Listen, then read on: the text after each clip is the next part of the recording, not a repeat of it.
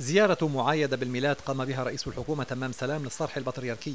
هم أساسي جمعه بالبطريرك الراعي ألا وهو هم انتخاب رئيس للبلاد في أسرع وقت.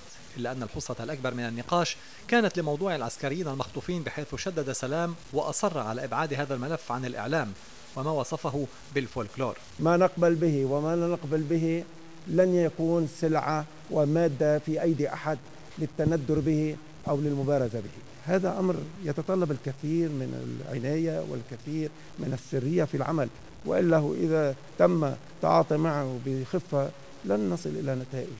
متشائم هو رئيس الحكومة ويرى أن الوضع غير مريح ولا يبشر بانفراجات للبلد.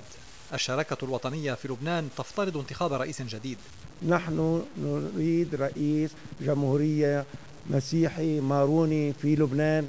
ونتمسك بذلك وإما يكون ذلك أم وإما لا يكون لبنان.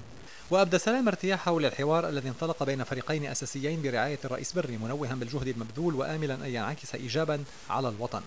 في رسالته السنوية عشية الميلاد والتي وجهها إلى اللبنانيين من كنيسة الصرح أسف البطريرك الراعي لظلمات التبعية التي نعيشها في لبنان وعدم الولاء للوطن. كي يخرج لبنان من ظلماته يحتاج أول ما يحتاج. إلى رئيس للجمهورية يملأه نور المسيح ويكون الرأس السليم الواعي الحكيم. يحتاج لبنان إلى رئيس معروف بتاريخه وممارساته متجرد من ذاته. الصيغة المنظمة للعيش المشترك والمشاركة المتناصفة والمتوازنة في الحكم تبقى في نظر البطريرك الراعي الضمانة للبنانيين.